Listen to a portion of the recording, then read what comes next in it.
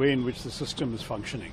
And when you realize how hard people prepare for these examinations, these young people who have put other things aside in their life to prepare and work so hard, um, they are completely deprived of, of, of any fair justice.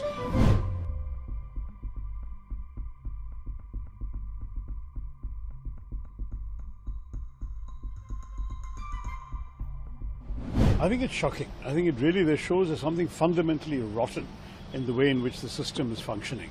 And when you realize how hard people prepare for these examinations, these young people who have put other things aside in their life to prepare and work so hard, um, they are completely deprived of, of, of any fair justice. 24 lakhs took the first exam, they were weird marks, no one could understand. 11 lakhs took the exam, now they've got to take it again. This is a terrible situation, and the government has to get its act together because now that uh, they have taken on the responsibility of creating a national testing agency and providing these kinds of, uh, of, of national examinations and requiring these examinations, then they've got to be conducted in a more objective manner. And this ridiculous practice of paper leaks ought to be punished very stringently because the fact is that you start leaking papers to your favorites, you end up destroying the entire hopes of a generation. This has to stop.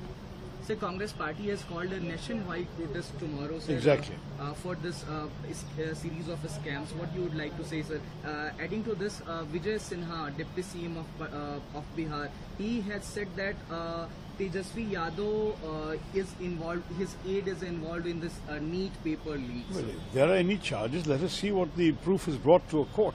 Uh, I'm not going to start getting into individual cases, but we are protesting the principle of the thing. I mean, you cannot abuse people in this manner, and it's a, it's a betrayal of an entire generation. We will simply not accept it. Rahul Gandhi ji has did a press conference uh, an hour back. He has said that uh, it uh, it was being said that Modi ji stopped Russia-Ukraine war, but due to some reasons, Narendra Modi has not able to stop or doesn't want to stop paper leaks in India, sir. It's a very good question. You know, why are there so many examples of leaks? Story after story. We actually put into our manifesto that we would pass a stringent law against this and take severe action against paper leaks. We understand what it represents for young people to study, prepare for an examination, all their hopes for the future, future admissions, future jobs, and so on, rest on these examinations. They ought to be completely above suspicion. And the importance of this cannot be overstated.